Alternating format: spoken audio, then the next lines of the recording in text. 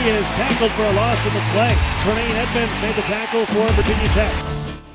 Well, it was really special to be a part of it. I'm, I'm thankful for the Edmunds family for inviting uh, myself and Coach Foster uh, to attend it. I mean, it was uh, a once in a lifetime experience, and to have both of the brothers go in the first round um, made me made me feel pretty grateful to be there, and you know made me realize that it, you know it, it couldn't happen to a better group of people. I mean, I just can't say enough about Tremaine and Terrell and their parents and the job they did raising those boys and, and the type of players and people they were while they were here at Virginia Tech.